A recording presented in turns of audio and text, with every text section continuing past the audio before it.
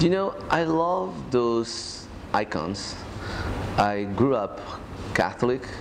My ancestors were Jewish, and the, my community where I grew up in Brazil is very mixed. And um, but I was not the one or my family, my mother, to go a lot to church. You know, and uh, once I went to high school, because it was a, a very Catholic, a really well-known, I got the scholarship to go for that school, a well-known school. And then that's when I started going more to church, mostly because I have to go. And um, but it was, and today I really I have lots of icons in here, you know, religious icons, you know, people give me as gifts, and they're beautiful, and I have them there.